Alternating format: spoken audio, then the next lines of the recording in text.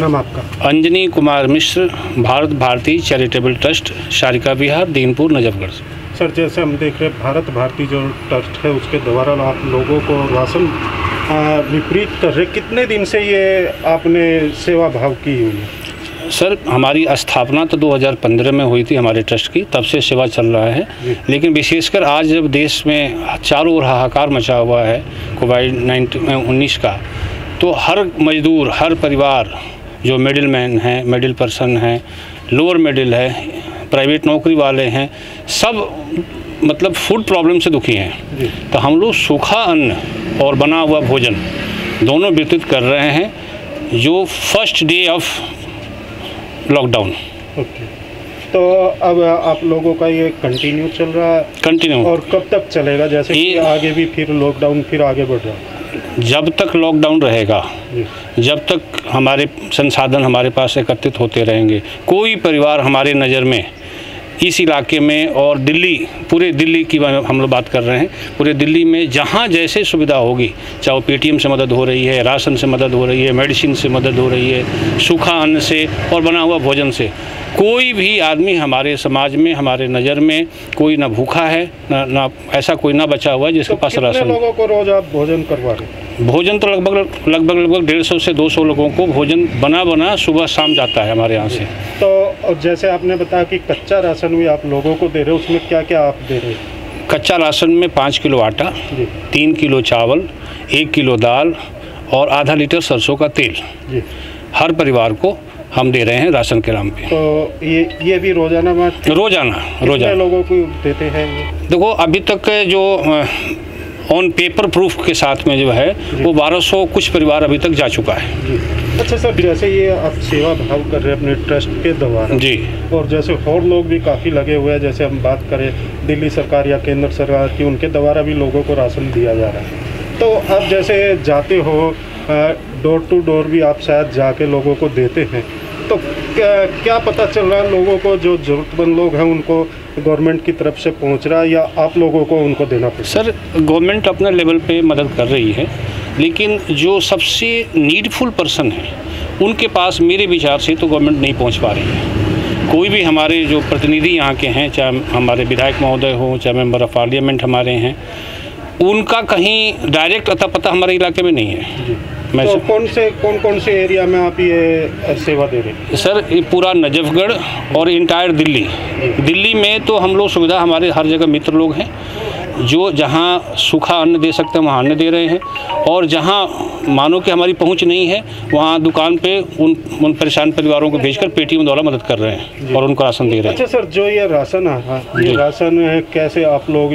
इसको कर रहे हैं या अपने पास से सारा नहीं परचेज करके करते हैं दुकान से हम लोग लेते हैं हमारी संस्था में हाँ, संस्था के द्वारा संस्था के द्वारा सब कुछ है संस्था के सदस्य अपने स्वेच्छा से दान कर रहे हैं और संस्था के द्वारा ही सारी मदद हो रही है तो कोई टाइम टेबल है इस चीज़ का या सर 24 घंटे में कोई कोई टाइम टेबल नहीं है अगर रात के आठ बजे फ़ोन आ रहा है कल अशोक अशोक पार्क है जमुना यमुना पार्क जी ठीक है ना देवली खानपुर वहाँ से फ़ोन आया कि हमें मदद चाहिए राशन घर में नहीं है हम लोगों ने हमारे मित्रों ने ट्रस्ट परिवार ने वहाँ से पेटीएम के द्वारा वहाँ पे मदद किया जितेंद्र जी जैसे हम देख रहे जो यहाँ पे भारत भारती हम्म। ट्रस्ट वो ट्रस्ट है उसके द्वारा जो एक सेवा भाव से लोगों की सेवा की जा रही खाना भी और कच्चा खाना भी और पक्का खाना भी दोनों तरह लोगों को दिया जा रहा है जी जी तो कितने दिन से ये चीज़ की जा रही फर्स्ट तो जिस दिन से लॉकडाउन था उसी दिन से हम लोग ये सेवा में लगे हुए हैं और हमारे दानी भी हमें खूब दान दे रहे हैं जिससे हम ट्रस्ट के द्वारा सब जहाँ तक हमारी पॉसिबल है कि हमारे क्षेत्र में कोई भूखा ना रहे तो कौन कौन से क्षेत्र में आप ज़्यादा सेवा दे पा रहे हैं अपने ही ज़्यादातर तो मटियाला विधानसभा हो गया इससे बाहर भी पेटीएम द्वारा भी लगे हुए हैं कि ताकि कोई भी आदमी अगर नीडफुल है तो उसके तक सामान पहुंच जाए तो कैसे उस लोग की पहचान कर पा रहे हैं आप अपने मित्रों द्वारा जिनके द्वारा की प्रधानों द्वारा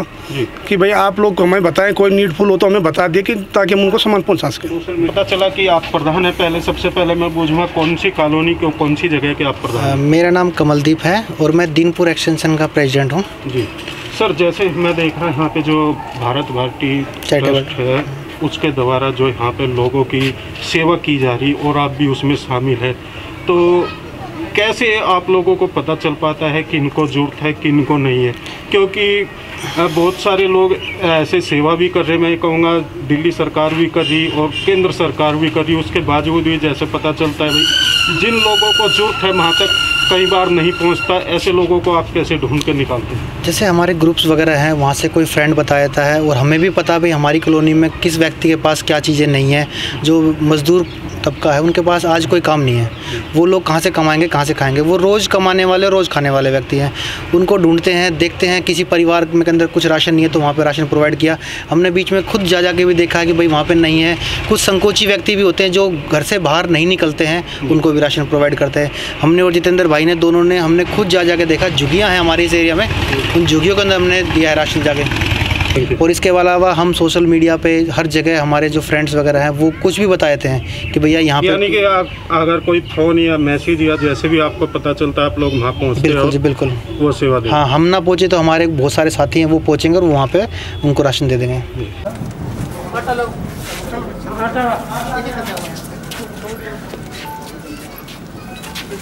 ये हमारे में रिकॉर्ड में रहेगा ना हम्म, हम्म।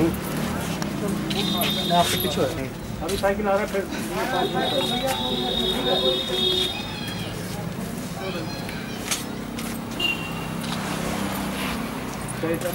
फोटो भाई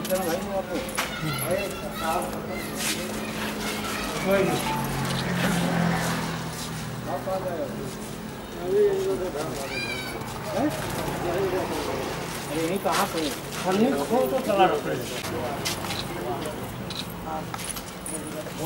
Like, share and comment. To subscribe this channel, please press the bell icon.